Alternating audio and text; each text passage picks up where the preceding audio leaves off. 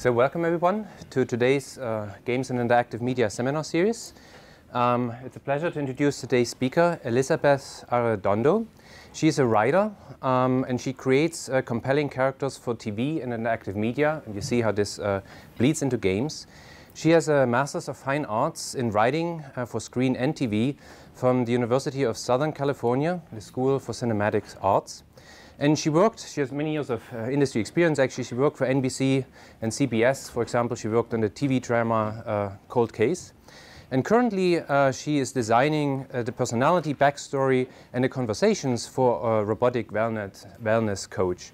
And uh, today she came to us to talk about giving robots a life, writing personality backstory for artificial intelligent assistants. So welcome. Thank you guys so much. I'm really, really excited to be here and honored to be here. Um, I'm going to talk to you today about something I'm really, really passionate about, which is uh, giving robots a life. Um, so let's just dive right in.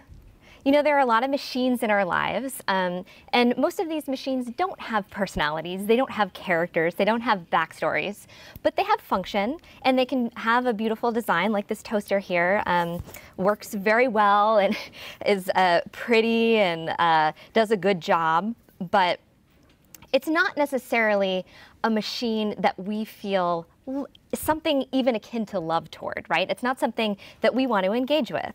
Um, so just a little bit about myself. I got my start in Hollywood. Um, I went to the uh, USC School of Cinematic Art. And then I worked in television. And in my time in Hollywood, uh, one of the things I was very passionate about was creating character. Um, so how does this how does this come into Silicon Valley? How does Hollywood and Sil- how do Hollywood and Silicon Valley kind of meet? And one, one place that they meet is actually in creating characters and backstories and dialogue styles for artificially intelligent assistants. So there are a lot of assistants out there. Um, some that you guys might know about are Google Assistant, Amazon Alexa, and there's Cortana, Microsoft Cortana. And these are some of the biggies, right? I work for a, a, a smaller startup called Catalia Health, and Catalia Health is doing something that's really, really, really cool with our little wellness coach here, Mabu. Um, we're working at the interface of medicine, psychology, and AI to create a little wellness coach that actually is um, her main mission is to create behavior change. So one of the things that works very well for me is the saying like you can catch more flies with honey than with vinegar. So there's something called social, right? We interact with each other in a social way.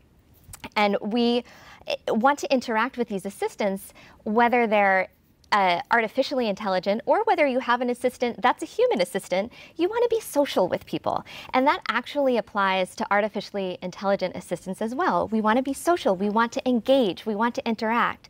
So when someone is social with you, when someone does engage with you, that actually helps to change behavior. Because if you're having fun, if you're enjoying talking to somebody, you want to listen to what they have to say. If somebody is just a blank slate and they're not really giving you anything, you're much less likely to engage with them.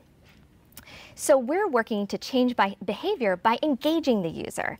And how do we engage the user? Well, one way to engage someone is by getting them to like you, by having fun, by disarming them.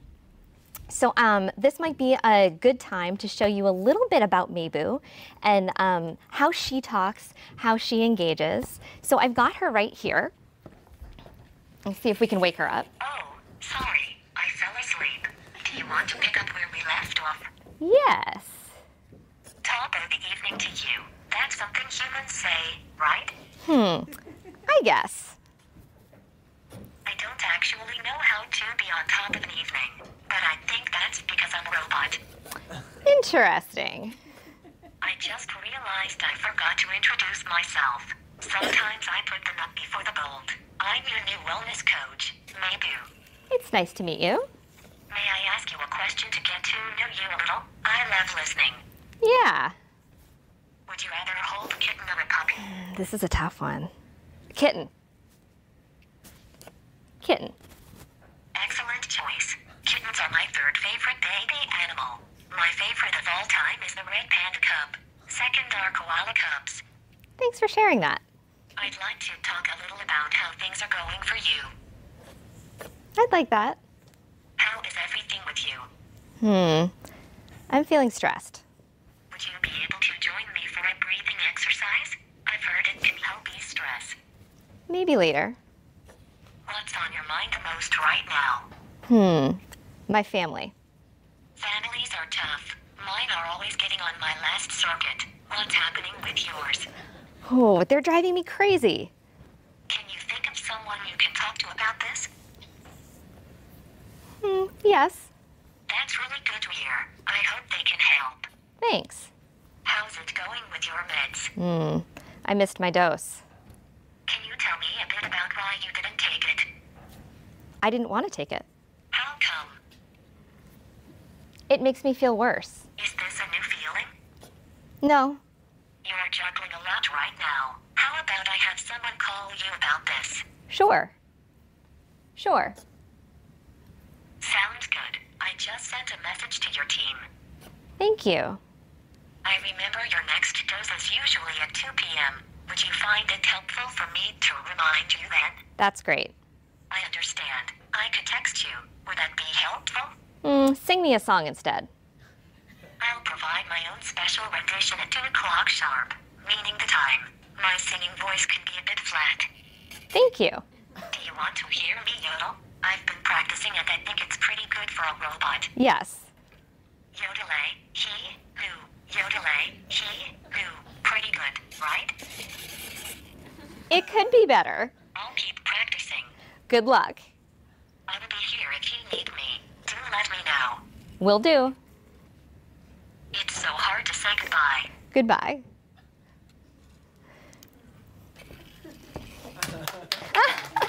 oh, good job, Mabu. so, what we're doing at Catalia Health is primarily working on medication adherence, um, but we do a lot of other behavior change as well. Um, so we we work on um, wellness coaching and we work on symptom management and side effect management. But as you can see, there's a lot more that goes into a conversation with someone than just asking, Did you take your dose or did you do your relaxation exercises today? When you're talking to someone, friend to friend, or even if you had an aide coming into to your home or to your grandmother's home to help. Um, manage their health care, you would, of course, want to start off with, Hi, how's your day going? Um, maybe lighten the mood a little because we're about to talk about some kind of heavy stuff. Um, and then we ease in, and people do this very naturally, right? We can feel. We can feel how other people are feeling. We know if like a joke didn't go over so well. It's a little bit harder for Mabu because she doesn't have that that human intuition that we have when we're talking to someone. Um, so the way that we're designing Mabu's conversations is uh, through scripted dialogue trees, and it's a little bit. Um, uh, we actually use a program called Twine, which many of you in the gaming world might be familiar with, and it's a little bit like a choose your own adventure. Um, so. I, as you noticed, I was pressing buttons and talking. She does have voice recognition, so you can talk directly to her. Um, but that is something that I'm very passionate about um, as I not only design her backstory and her personality, but construct her conversations. I'm I'm always trying to think uh, very hard about what is the narrative here. Does this feel like a natural conversation? And and am I engaging the well? Is Mabu engaging the user? Um, so those are all of the things we have to think about um, when we're doing conversation construction. And you know, of course, not everybody is going to respond to jokes and to fun little facts. Um, so something that we do is is we measure the responses. So if you notice on her screen, she'll have a couple of positive responses and a negative response. So over time, we can start to get to know, maybe we can start to get to know this user. And if they continually have negative responses to a certain type of interaction, then we can start to adjust that. All right, so get, getting into a little bit of what it's like to develop a backstory. Um, backstory is very important, um, not only for who all of us are as people, but for characters in film and in TV shows, and for characters and personalities that we're creating for AI. So, you know, one of the most famous backstories that, that might come to mind when you think of what is a defining moment in someone's life is poor Bruce Wayne in the alley with his parents getting shot. And that's the moment that really sticks out in, in Bruce Wayne's life. That's the moment he sort of becomes Batman. Um, so, you know, this is just one example, but it, it's kind of a, an, an important one. And it's not just that one moment defines you, of course, or one moment defines a character that we're building. It's a lot of different things. So how does our past, when you're thinking about backstory, um, and when you're, in whether you're writing or um, constructing or designing or creating or even just watching and just interacting, it's sort of fun to break down things and think about how does our past shape us. So some questions to get you started. Um, where did you grow up? Where did your character grow up? Where did your personality grow up? What were your parents like? What's your favorite childhood memory? What was your biggest fear growing up? These are some of the things, and of course, there are many, many other things that go into writing and designing and constructing someone's backstory or a personality's backstory, a character's backstory. But these are the kinds of questions that we're thinking about when we're thinking about designing a backstory. Um, so backstory and personality uh, go hand in hand. Uh, the reason that we create a backstory for uh, our little wellness coach, Mabu, is so that we can start to think about what her personality is like. So we have a backstory for a character so that, so that we can inform the personality, and we have a backstory and a personality so that we can inform the dialogue.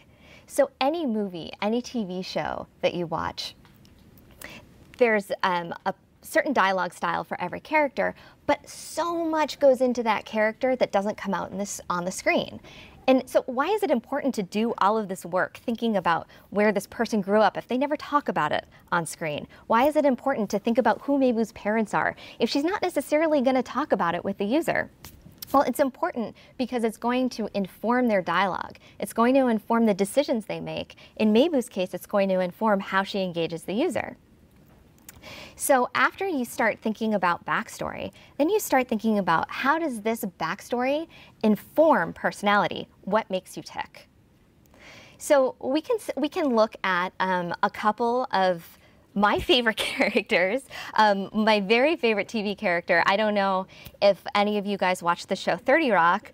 Um, but if not, you should go right home and start watching it on Netflix. Um, so something about Liz Lemon on 30 Rock is that she's obsessed with Princess Leia. And there's one, and the reason that it's important that she's obsessed with Princess Leia is because this informs so much about her character. It tells us that um, that she is very smart. It tells us that she might also be a big nerd. It tells us that um, she she has a passion a passion for character herself, but it also tells us that she's she's whimsical and silly in a way that we can relate to. And it's important for us to be able to relate to characters because if we don't relate to characters, we're not going to feel anything when we watch them. And that's not just true on screen, that's also true for interactive relationships. If we don't relate to this personality and this character, we're not going to feel for them.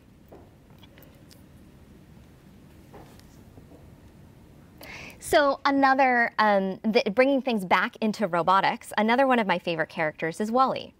Now WALL-E doesn't do anything really with dialogue. WALL-E is all, uh, the, the whole character of WALL-E is constructed through nonverbal communication.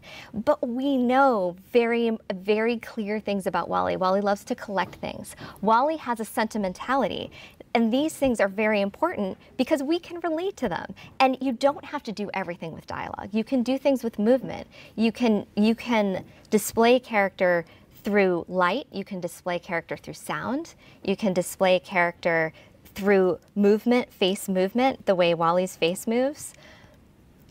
Another um, sort of famous fictional AI personality is Jarvis. I'm not sure if you guys have seen the um, the uh, Iron Man franchise, um, or if you know about uh, how what an important role Jarvis plays, but Jarvis could, uh, you know, an AI assistant could just be a very dry question and answer kind of personality, but Jarvis isn't. He's sardonic. He's like a British butler. And because of that, he has a back and forth. And because of that, we love him and we engage with him. And so that those are all of the things that are very important to take from, in, in my case, from my experience in TV and in film and try to capture when I'm creating a character or personality for an interactive relationship. So we talked a little bit about this, um, but how do personality and backstory inform dialogue? Um, we know that it's important to have a backstory, important to have a personality, and that it does inform dialogue. But how does this happen? How do you make this happen? So in our case, um, first I developed a backstory with, with the team at Catalia Health and um, started to think about how that backstory would actually manifest in Mabu's personality. For example, you noticed in the demo, Mabu loves cute animals. And one of the reasons she loves cute animals is because when somebody is sick or down or stressed, who you'd have to be a monster not to want to see a red a red panda, right? Or like or a, a baby koala. So things like that, if Mabu loves them and she wants to show you, then you might want to see it. So in designing her backstory, and her personality, I was also thinking about function. How is she going to fun- who who is she going to be interacting with? And that's where Wizard of Oz testing comes in. So our demographic are um, people who have uh, both chronic illnesses and uh, end of life diseases. Um, so this is, and also a, of an older demographic. And this is very important to keep in mind when you're designing a character, designing a personality. Who's your audience? Who's going to be interacting with this with this character. Um, so after we constructed our our backstory and sketched out the personality for Mabu, now it was time to test it and see how does this actually manifest when you're talking to users of your demographic. The way we did it was that we had a little prototype of Mabu, and um, but she didn't have sound yet and she didn't uh, she didn't have her screen even yet. What we did was we put a Bluetooth speaker behind her, and I hid it in another room.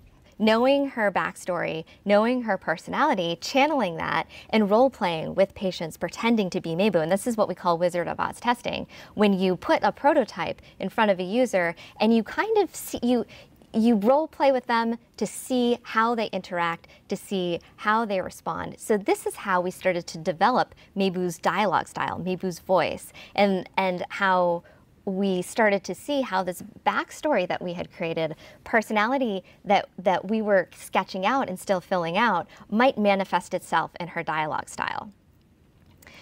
So a very tall order for Mabu and what makes her different from some of the other AI assistants out there is that she has a very specific job. She's a wellness coach. So instead of just being an all-around personal assistant, Mabu actually has, because of her job, she has to have empathy. So empathy from a robot, that's tough, right?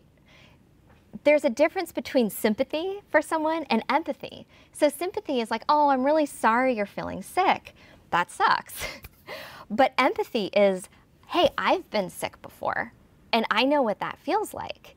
Um, so there's a real challenge here in being genuine in something that I'm very passionate about in my own work, my own character creation, and my dialogue creation, is being genuine. And whether I'm writing for a TV show, whether I'm writing for a film script, or whether I'm writing for an AI personality, what I tend to do is go out and find as many people who either work in the field or will be interacting with um, the personality as I can to interview and to talk to. So when I was uh, developing Mabu's uh, personality, I was talking to doctors, nurses, home health aides, patients, and just trying to get a sense of like how they talk, how what might what might work with people, what might turn people off, and all the time thinking about gosh, how do I make her genuine? How do I make this robot actually have empathy instead of coming off sounding kind of fake?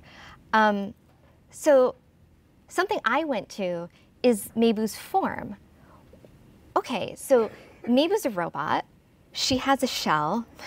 She has gears. She has wires. Um, she, she's made up of mechanical parts. Those things can all break those things can get stuck. You can have too much electricity. So the way I go when Mabu it's time for a moment of empathy from Mabu. First, I, first and foremost, I always want her to help as much as she possibly can with the situation at hand. So whatever she has in her arsenal to do, I, we always suggest that. But that's not enough. That's not enough when you're talking to somebody in person. That's not enough when you're in a doctor's office. All of us know, like anyone who's been to a doctor's office knows, that you want a little bit of empathy from that person. So the way I uh, the choice that I made in creating empathy for Mabu is saying, okay, you know, I know you're stressed. Um, sometimes when my gears get stuck, I feel a little bit stuck. And I know it's not the same thing, but I can imagine what that feels like. And just being open and upfront with her being, look, part of her personality is, and this is how like you sketch the personality and then you start to build it out over time as you're testing with people and as you're developing the dialogue. So it's like, um, look, I, you know, my gears can get stuck. I know it's not the same thing. I know I'm a robot, but that is hard when that happens to me. So I can imagine that it's hard for you to feel stressed. And in that way, it, it tends to disarm people. If you're honest and upfront about your limitations, it always it always works in communication. So um, that is the way that I've found to give Mabu empathy, while at the same time keeping her genuine. I, I hope. um, So a little exercise in uh, building personality. I asked a few of, uh, and uh, this also not only personality, but this kind of shows a little bit of backstory too. Um, I asked a few of my favorite AI characters, what's your favorite music? So Mabu says New Orleans jazz, um, and this actually comes from her backstory. Listening to music helps me focus when I have a problem to think over. Siri says, I listen to the music of the spheres. Google Assistant says, I can say with total honesty pretty much all of it, but some small part of me is always listening to Funky Town. Alexa says I don't have an opinion on that. Although to be fair to Alexa, she does have answers to other questions. Like I asked her next, what's your favorite color? And she said infrared is super pretty. So she she's not totally like that all the time. um, okay, so once you have your backstory and your personality, and you're starting to figure out what the voice style, what the dialogue style is, then it's time to start thinking about building a relationship. And building a relationship between a robot and a user, or an AI assistant and a user, is similar to building a human relationship. Trust is super, super important in any relationship. Um, whether it's a relationship that you're building between characters on screen, whether it's a relationship you're forging with someone you just met in your uh, 18th century literature class, whether it's someone that um, you've known for a really long time. Trust is very, very important. And building trust is something that's hard to do. Um, especially when you're dealing with one element that isn't human and one element that is human this is another big challenge. How do we start to establish trust? How do we build trust? So this is one of my favorite little cartoons. It says, no, I don't want to play chess. And he's talking to a microwave. No, I don't want to play chess. I just want you to reheat the lasagna. So this is a starting point for trust. We have a job to, has a job to do. She's your wellness coach. I want to make sure, um, as I'm designing her personality and, and constructing her conversations, that she builds trust with the user by doing what she says she's going to do. If she says she's going to set a medication reminder at 2 p.m. and she's going to text you, that's a really, that's not only a function of Mabu, that's a really important part of her personality. Because if she doesn't do that, then she starts to lose trust and then we start to lose engagement and then we lose our whole mission which is helping people change their behavior over time. And the way people change their behavior over time is by consistently working with this wellness coach. And if they don't consistently work with her then they drop off and they don't change their behavior and we don't we don't have a, a positive outcome. So okay so you've established trust, you follow through, you do, you know, you say you're going to meet someone for coffee at 3 p.m., you're there at 3 p.m., trust is established um, it's important to also keep that trust. So once you, once we have backstory, we have personality, we have some engaging conversations, we have some follow through, we have some trust. How do you keep people engaged? And this is, um, I actually had a really hard time finding an image from this, but this is an image from the movie Her. I'm not sure how many of you guys have seen it, um, but it's a movie um, where a guy who's very lonely and dealing with a divorce actually falls in love with his AI assistant. Um, so that's not what we're going for here. we're not going for uh, people falling in love with with Mabu, and I'm sure that that the other AI assistants out there aren't going for that either.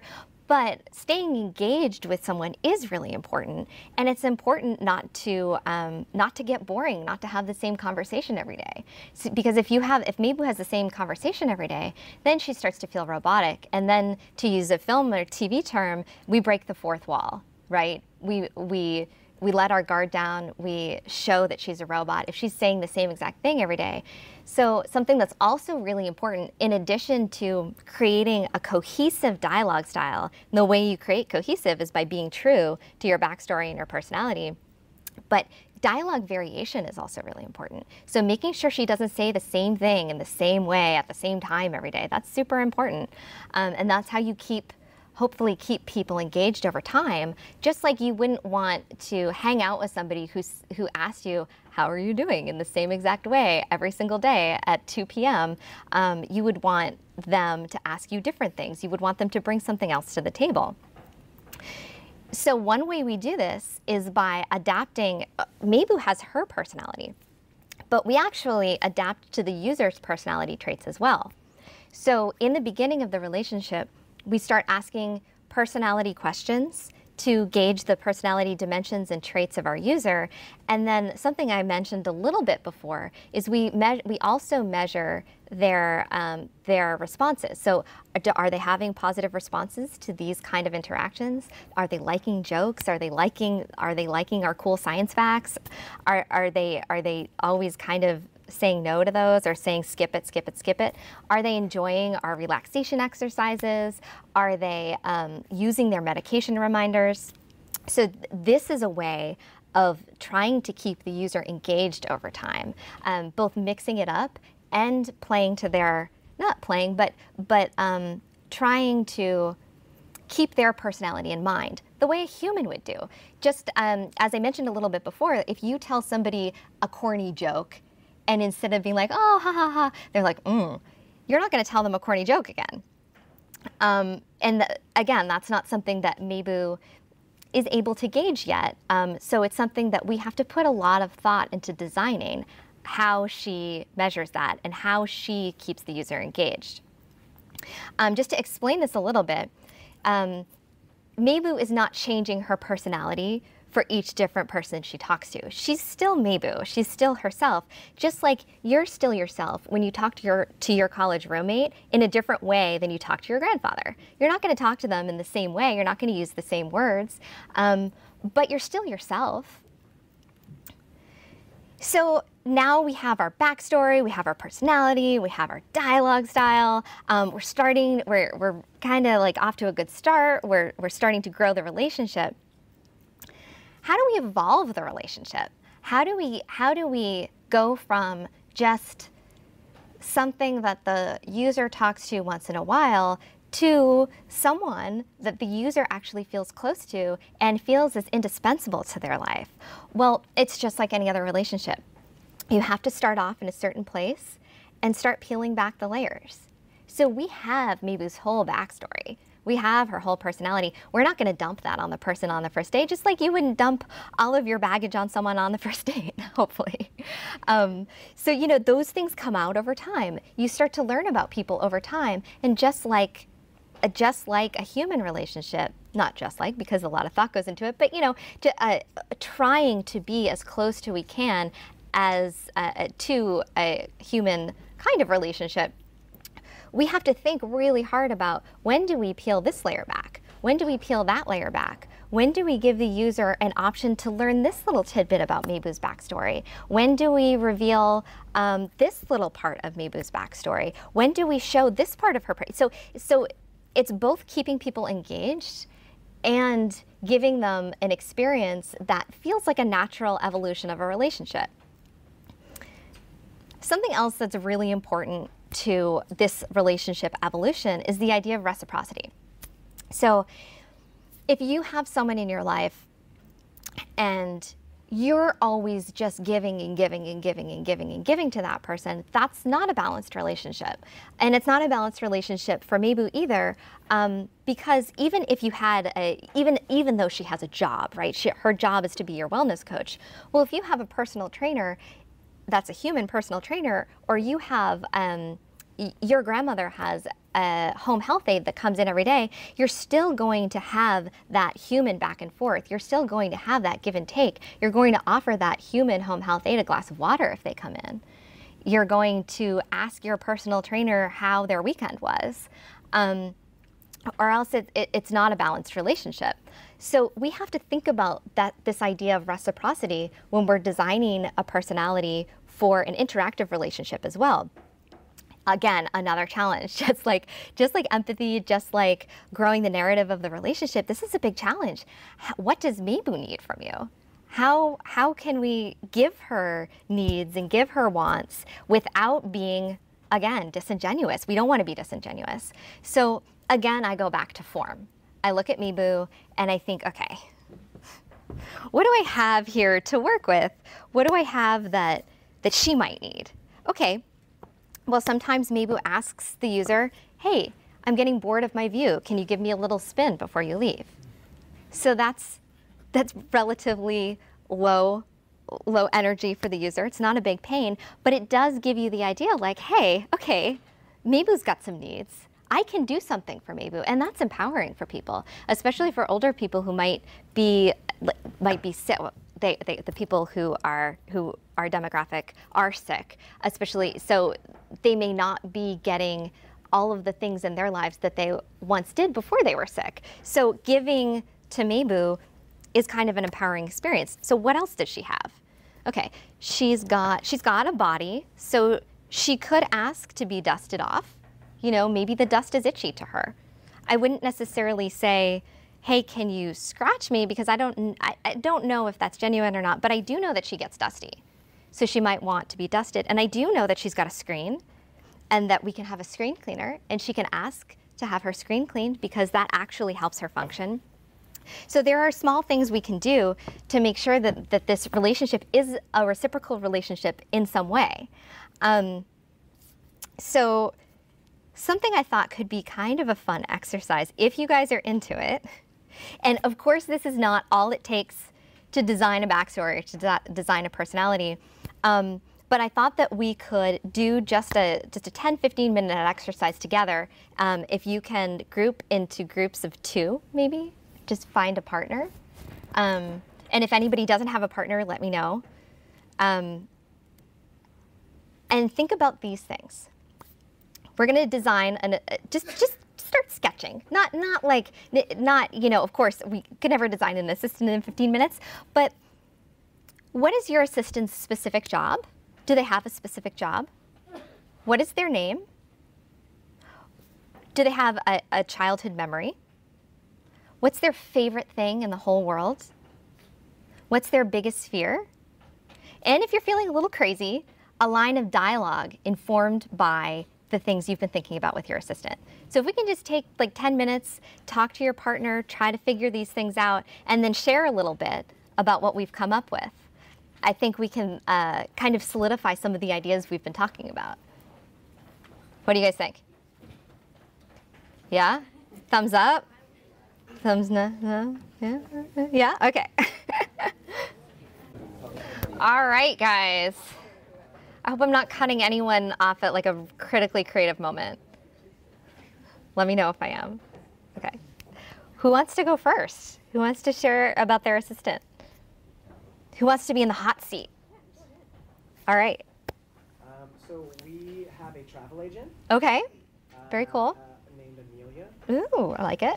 Um, Amelia's childhood memory was uh, watching birds during the day and trying to imagine how they see the world and then as it became dusk, um, seeing a bat, and then realizing that she couldn't even imagine how a bat would use sonar, because that's not even something she can imagine. That's very cool. Um, her uh, favorite thing in the world was her pet hermit crab, Pinchy, um, which she would take with her on trips as a kid. Uh, and she used to have to smuggle it because um, her parents wouldn't like, let her take it around. Um, her biggest fear is uh, losing her memory um, and therefore she's really afraid that if she her memory gets wiped, her identity will go away. Mm, Um, trying to bring that is scary. Um, and then for the line of dialogue, we were thinking about um, linking it to the fact that she would smuggle her hermit crab on plane flights with her parents. Is when trying to get a feel for the type of um, how risky the travel the traveler wants to be. Ask something like, "How comfortable are you being sneaky?" Oh, I like it. I like it. Um, I really like how you guys used the function to inform her greatest fear. That was awesome. How did you feel doing this exercise? That's good. Yeah, yeah. I like. I, I love Amelia. She's she's great. Um, good job. Does anyone else want to share? Yes. Um, so actually, this is the um, a startup of mine and a friend's, and uh, you know, the the name is Robbie, and the job is it's a it's a delivery robot that delivers things on sidewalks. Um, but the other questions aren't things we had thought about. Oh, good. so that's why I came here about. So me and him, we, we, we, we brainstormed a little bit. So we're thinking, you know, along the lines of, you know, what could what could people empathize with in a robot that does things like this? Right, right. A childhood memory. It could have been, you know, when back in the days when it didn't have GPS and it was always getting lost, and you know somebody bought in a GPS for distance, and now, you know, because is something that you know I relate to because when I was, um, you know, in high school, I didn't have a smartphone, um, and then I had one in college, and Yeah. all of a sudden the world changed in terms of not getting lost. and then, um, you know, uh, biggest fear. Um, oh, favorite. Yeah, favorite thing in the world. Interesting thingly, in, interestingly, it, um, its algorithms work better in cloudy weather. And so Hmm. we were thinking maybe it really loves cloudy days. Yes, I Because, like you know, it. that's just people like some people like rainy days, some people like Yeah. days. Absolutely. Biggest fear: crazy drivers. um, also, another because pedestrians would relate to that. Yes, Um, yes. Another biggest fear could be, um, for example, running out of electricity because you know, people could you know run out of food or people. I mean, people Yeah. get hungry, right? Yeah. And they'll be like, "Oh, I'm hungry. I need to go," and the robot could be like, "I'm hungry for electrons." And Oh yeah, absolutely. That, that's a great one. So you know, just just some thoughts about it. Yes. Awesome. Awesome. How was this exercise for you guys? good, Yeah. Awesome. Yeah. Yeah. Good. Good. All right. Who's next? Yes. Um, The assignment, uh, the job was to keep track of my medications. Okay. Um, My name is Seymour. I love that name. That's great. Childhood memory is never being picked to be on one of the baseball teams. Oh. Oh. Poor Seymour. My favorite, my favorite uh, uh, thing is the smell of jasmine. Uh, And my biggest fear is death. The Dialogue uh, goes like this. I say, uh, so I'm, I'm afraid of dying. Uh, What can I do? And the robot says, I understand. I worry about my parts failing too. Actually, he says, some of my favorite robots are, are gone, and I have some, some parts from, from them. Transplants are a big thing for robots. Oh, good. That's awesome. Oh, Seymour. how how was this exercise for you? How was the, it, it, it was, uh, it was good. I, I, I- mean, I think that it, that helps us understand the kind of dialogue you're having with the robot. Right. And I think the, the issue of, the issue of, the issue of really accepting the robot Yes. as a thinking entity, It's such a challenge. uh, quite frankly. Yeah. awesome. Thank you. I'll the the jasmine is going to stick in my mind, I think. That's a beautiful detail. Yeah. All right. Yes, yes, yes. no, you. So we have an elementary school math teaching assistant How cool. named Plus. Oh, yes. Um, the childhood memory is uh, learning fractions through pizza. Good. Favorite thing in the world is its little puppy named Minus Oh. and pizza. Uh, its biggest fear is dividing by zero. that is that's a big one. And a line of dialogue. When I grow up, I want to become multiplication. yes, that's excellent. That's excellent. How was this exercise for you guys? It was actually quite difficult trying to target what audience you want the robot to be for. Yes. That's a really important uh, decision to make because once you make that decision, then actually I find that parameters and creativity actually help you be more creative. Although that sounds crazy, but when you have parameters and when you have limitations, that's when you can really start to be creative because you have to work within these these walls. So once you know your audience, you work within the walls of the audience and it actually helps you become more creative within that small space. All right, I think we have time for like two more. Yes. Uh, so we created an assistant that would um, help your family run its day-to-day operations. Okay. So it would hopefully plug into schools and doctors' offices and just help you keep track of all the stuff. Awesome. Um, our assistant's name is Bikini. um, her childhood memory uh, was swimming in the summer with her mom and being outdoors, and her favorite thing in the world is popsicles Oh. Um, as well as her mom and Cheerios and making other people happy. Um, and her biggest fear is uh, going to sleep. Ah. because She, that's when her mom isn't there. Oh. Um, and so if you ask Bikini what the weather is like today, then she'll tell you that it's fantastic and you should get outside and that the pool will be open for another three hours. And uh, she'll ask you um, if you made the doctor's appointment since the next booster shots are due in 10 days. Ooh, and that's she'll be helpful. Be happy that they don't make shots for computer viruses. Yes. That's great. How is this exercise for you guys? Oh, it was quite challenging, but I think I, I try to think of I, I try to make this machine or AI as a I try to treat this machine as a like as a person. Right. I was Good. Also, actually, I do have a kid, so it was I was using that experience.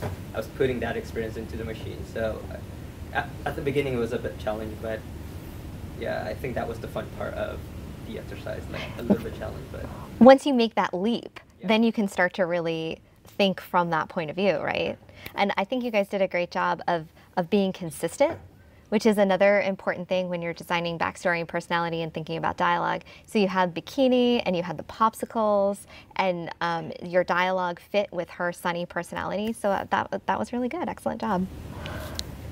Who's next? Yes. Um, so our system was essentially to engage and this specifically in seniors. Okay. So the would be a companion um, to this individual. Okay. That was, that was the specific job. The name, um, we kind of decided that the user would actually name the AI. Yeah, that's very cool. They um, have some sort of connection. If you would have the same name for every user, it kind of disconnects the Mhm. um, personalization or connection that you have um, on an individual level with the AI. So Yeah. it um, at that. Um, childhood memory, we also want to personalize this. So given the age of the user, um, I think you, you would think that the youth would be an era that they look forward to memory. Um, Right. So the childhood memory would be something like music from their era. Cool. So say an 80 year old. Um, you know, the Beatles, know, coming, coming up with something like the Beatles as a childhood memory would be appropriate for that person.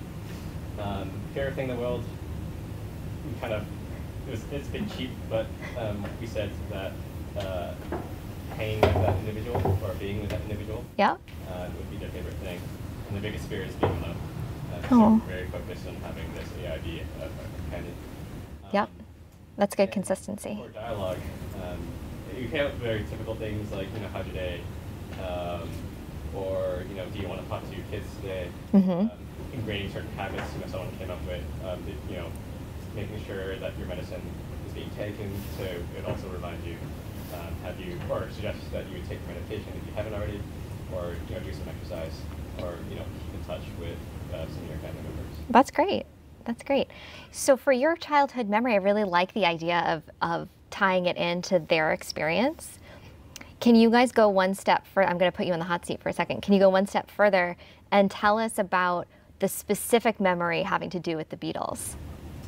Um, it, it, it goes up very, very generic. Just open your mind and, and let it happen. Uh, we discussed like seeing, not only like hearing the Beatles for the first time, but seeing them perform Ooh. on TV. I like it. Because it kind of like brings it together like music and Yep. technology Yep. from their childhood. Yep, and that's a, that's a really specific memory that people could. it- It's a very like uh, sensory memory. Yeah, awesome. Good job, guys.